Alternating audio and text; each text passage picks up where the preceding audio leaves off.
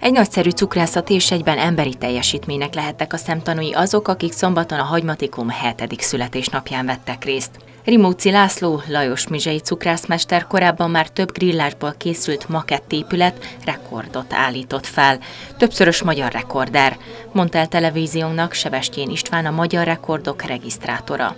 A jeles eseményre a készítő magát a fürdőkomplexumot alkotta meg édességből, méghozzá egy a 60-hoz léptékű terepasztal formájában. Nek a rekordnak az a jelentősége a korábbi hasonló rekordokhoz képest, hogy nem egy egyedülálló épületet, hanem egy egész kompozíciót valósított meg, ráadásul egy Makovec épületet, és itt a cukrász szakmához értők elmondták nekem, hogy ez azért rendkívüli emberi teljesítmény, és eltér a többitől, mert itt alapvetően nem síkfelületek határolják azokat az épületrészeket, amelyeket meg kellett alkotnia, és ez különös kihívás cukorból, illetőleg csokoládéból. Ezen a terepasztalon egyébként, amely majdnem hajszálpontosan 3 négyzetméter alapterületű, egy két köbméter befoglaló méretű téglatestben helyezkedett el az a mű, amelyhez a cukrászmester közel 100 kg cukrot és 50 kg mogyorót használt fel. Sebestyén István azt is kiemelte, a hagymatikummal a cukrászmester egészen magasra helyezte fel azt a bizonyos lécet, amelyet majd a konkurenciának, ha van mersze, akkor meg kell ugornia.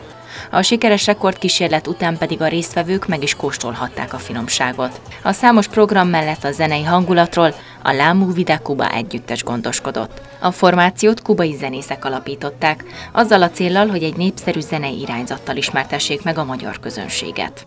Mi játszunk az egész kubai stílus, salsa, merengue, bachata, cha-cha-cha, cumbia, mindenfajta ilyen. Ez a csapat itt Magyarországon csinálta az egész es latin zene. Mennyire nyitott a magyar közönség? Hát a magyar közönsége már nagyon ismer minket, mert dolgozunk a La Bodeguita del Medio, Budapest, és már voltunk Budapest mindenhova, csomó ilyen e, város. Most itt vagyunk, most itt ez is, ez az első, remélem még nem az utolsó. A 2017-es év legmeghatározóbb slágere a Despacito is felcsendült a zenekar hangszerelésében, de további ismert előadók dalaira is táncolhattak a fürdőzők. A Hagymatikum születésnapjáról készült hosszabb összeállításunkat csütörtöki társalgó című színes kulturális magazinunkban láthatják. Ya,